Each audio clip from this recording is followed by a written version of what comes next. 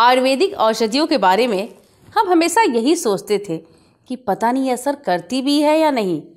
लेकिन एक बार हम दोनों ने ये मन बना लिया कि चलो ट्राई करके देखते हैं क्या असर दिखता है। क्योंकि हमें इतना तो पता था कि आयुर्वेदिक दवाएँ नुकसान नहीं देती। एक उम्र के बाद शरीर में थकान, कमज़ोरी और बदलाव आने लगते हैं। लाइफ की भागदौड़ में शरीर तो खराब होता ही है, रिश्ते भी खराब होने लगते हैं। पति पत्नी के बीच प्यार मोहब्बत पहले जैसी नहीं रह पाती।